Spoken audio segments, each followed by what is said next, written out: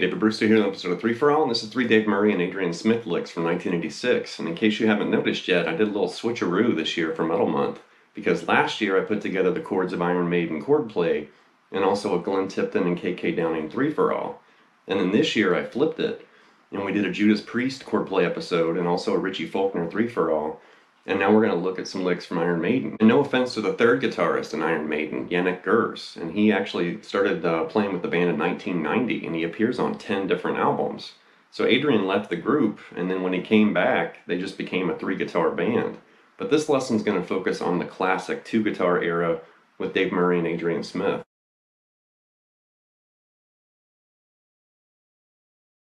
Licks in this lesson actually came from some live footage from 1986 when Maiden was on the Somewhere on Tour tour in support of Somewhere in Time. And there's some really interesting things happening, you know, in this concert footage.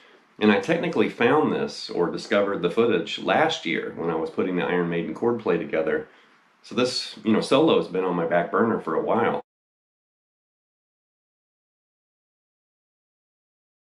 Honestly, in Iron Maiden's history, it was kind of rare to find Dave Murray and Adrian Smith doing a showcase guitar solo like this. You know, they typically played solos throughout every Iron Maiden song, and they didn't really do a solo per se. But on this tour, I guess they, they added this to their tour.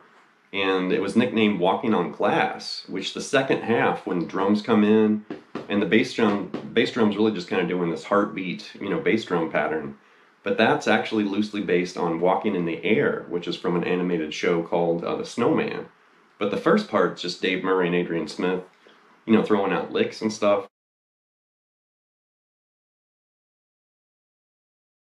Before we get to the licks, I wanted to point out one more thing that really impressed me when I saw this footage, you know, from this tour in that era. And I found clips from 86 and 87, and I noticed, you know, they continued to play this Walking on Glass guitar solo. But Adrian Smith was actually using a very early prototype guitar synth. You know, it's kind of a custom Jackson. And it has all these knobs over here. There's like a selector switch and a knob over here. And I was really impressed. Like, I was like, wow, this is early. You gotta think this is 1986. And Adrian embraced this kind of early guitar synth. So I tried to find, you know, information like what model, like was it from Roland or like who designed, you know, this custom guitar synth. But here's a little montage. You know, it's a little jerky because it's clips of Adrian kind of strumming these synth chords. But check this out.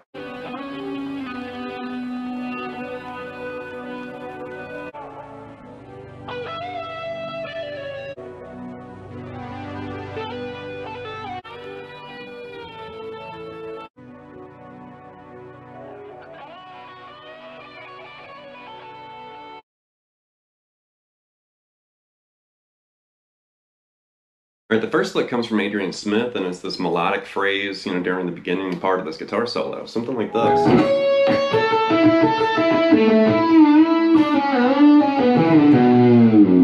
One more time.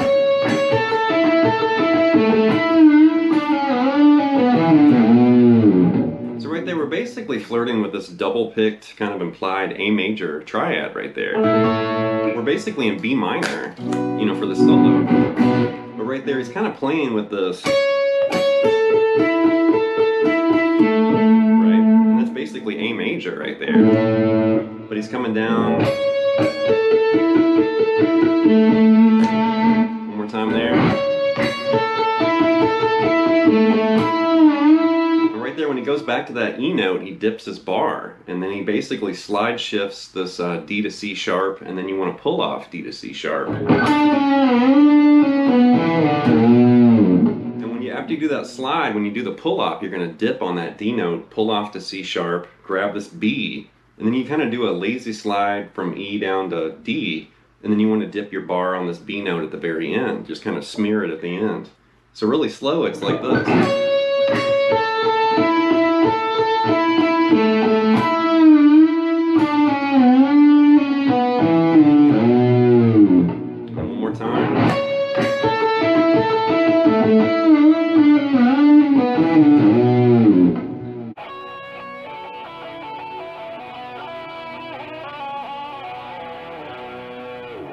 lick comes from Dave Murray, and it's this melodic slip and slide lick, and we're still in B minor, but it's something like this.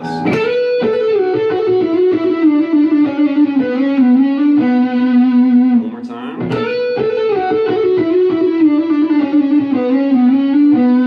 So be sure to use your neck pickup. That's kind of a signature, you know, pickup selection from Dave Murray. And also these kind of slide shifting and flutters, those kind of hammer-on pull-offs are also signature moves, you know, from Dave Murray.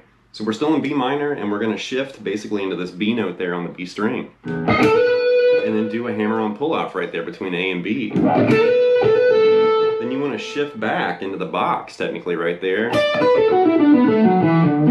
You're doing and then you're doing, you know, basically going back and grabbing that F sharp and then hammering on pull off on that A note. And then you want to do a flutter right there too, like this. Shift this uh, E into F sharp, and you're going to kind of mimic that all the way through this lick, those little flutters. So you're doing. And right there, you want to shift back to that D note you're doing a flutter right there again, shift back to um, to that C sharp. And then right there, you're going to basically uh, hammer and pull off that D note twice. He starts doing the slide from B to C sharp. So he kind of does that B, C sharp, B, C sharp, grabs D, and ends on B right there on the D string. So really slow all the way through the lick, it's like this.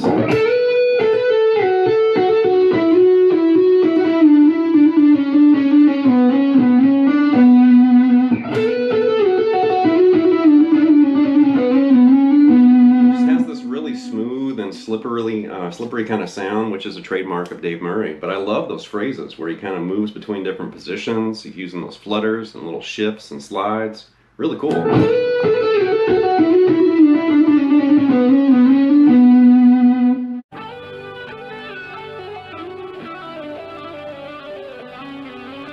the next lick comes from Adrian Smith and it's a speed lick and it's actually broken up into three different parts, but it's pretty cool. Something like this.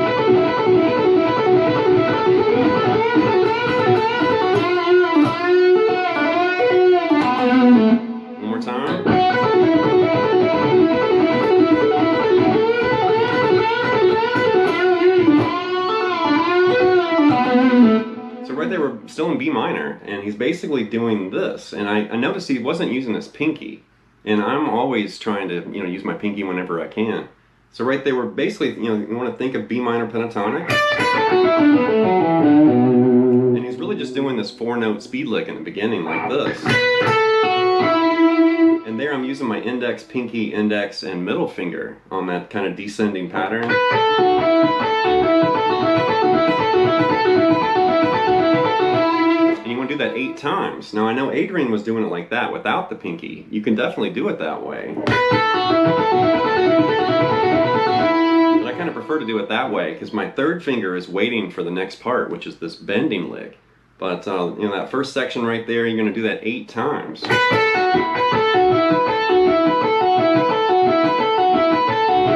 Right there, you're going to change to a bending lick, and it's still B minor pentatonic, but it's like this. To do that four times right there.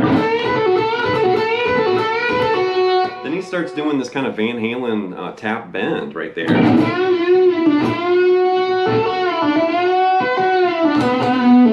So you're going to bend this E up a whole step to F sharp. And you're going to tap the 12th fret right there. Very reminiscent of uh, Eddie Van Halen's tap bending.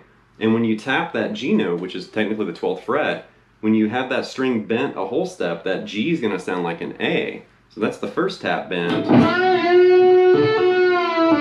And then you're going to basically release that bend and bend it back up a whole step and then tap the 14th fret, which is normally an A note, but that string bent up a whole step, that's going to sound like a B, which is the key we're in, which is pretty crafty. And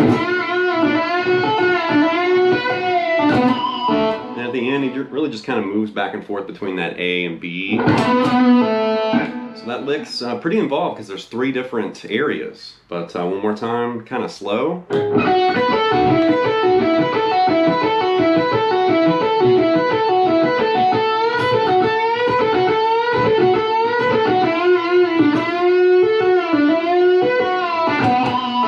This looks pretty challenging because it has three different parts you have to tackle, and then when you put it all together, you know, it's a big challenge, but it's really cool.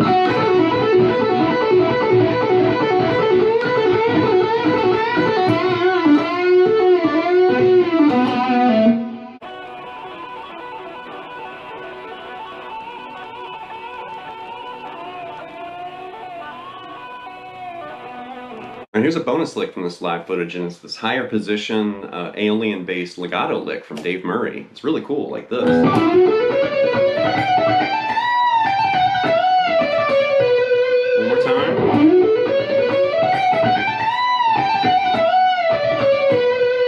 Basically in B Aeolian or B natural minor. And right there, we're basically shifting into this F sharp and then climbing up the scale. This hammer on pull off there on the B string between that C sharp and D, like that. And you're kind of mimicking that up on the high E between that F sharp and G. So you're kind of doing a similar thing, but on a different string. And when you climb up to that A note, you want to bend that up a whole step to B. And after you do that bend up, going to basically do this uh, G, A, G hammer on pull off, and then F sharp, G, F sharp hammer on pull off. And then you want to grab this E note and bend that up a whole step. And then you're going to do that hammer on pull off uh, move again. This D to E to D, and then C sharp, D to C sharp. So you're doing this. And you just end on that B note right there on the G string. So really slowly, it's like this.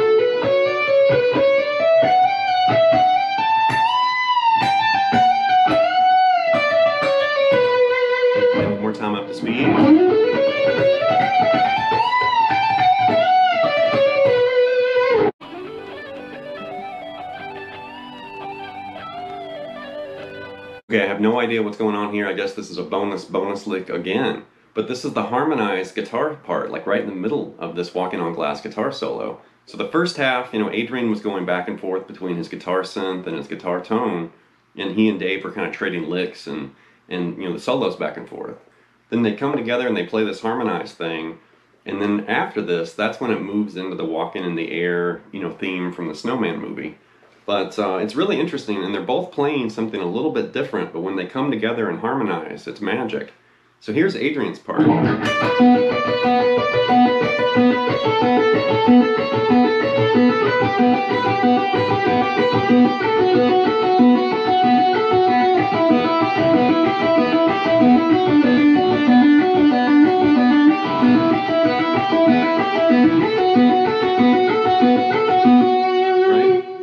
Basically grabbing one note, you know, all the way down the high E string, and then he's doing this kind of pull off hammer on on uh, the B string. So the first pattern right there.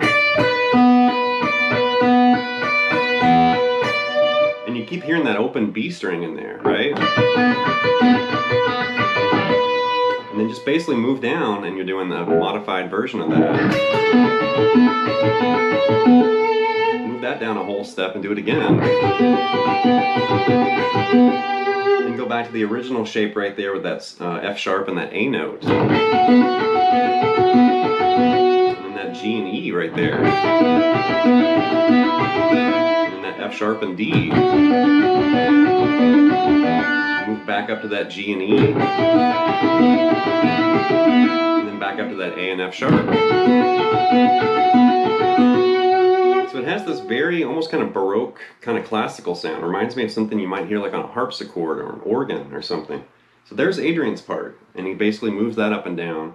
And then Dave Murray is doing a variation of that, and his part is up here.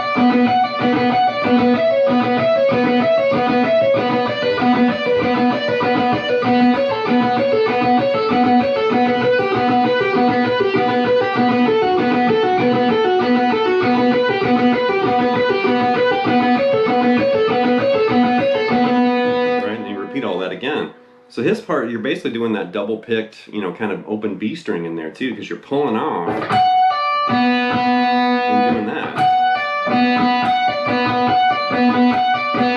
And you want to do that all the way down that pattern.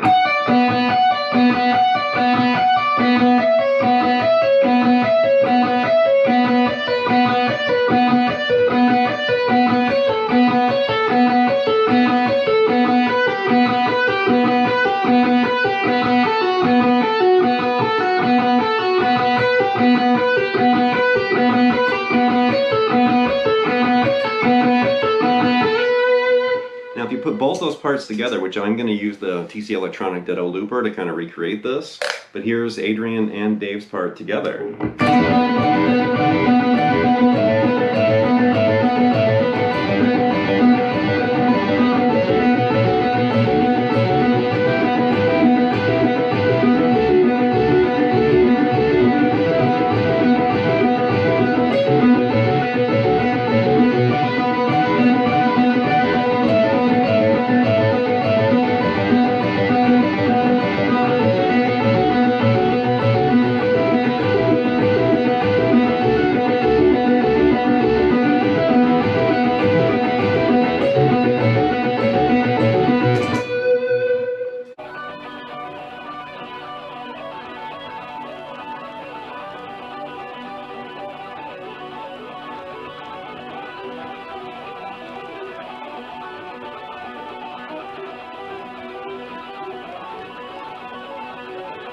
This look at three Dave Murray and Adrian Smith licks from 1986. And really, Iron Maiden is just, you know, legendary. They influenced the entire world and reshaped and kind of redirected metal music for the masses. Because really, in the early days, you know, Black Sabbath and Deep Purple, you know, they hit the scene.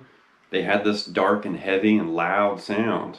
But really, when Iron Maiden kind of stepped up to bat, you know, Steve Harris was pulling out lyric ideas, you know, from literature and historical figures and Alexander the Great and all this stuff. And they really did like validate metal. And it made everybody stop and realize, okay, metal's not really just the sludgy kind of devil music. You can sing songs about wars and battles and his, you know history and all sorts of stuff, literature. And it's really, you know, it's interesting to notice how they just opened up this book or they opened the door and then all these bands and musicians just ran through it because that door was closed for a long time and iron maiden definitely helped kick it open so anyway leave some feedback and comments. Please subscribe to night lessons and i'll be back before you know it with more content material. Thank you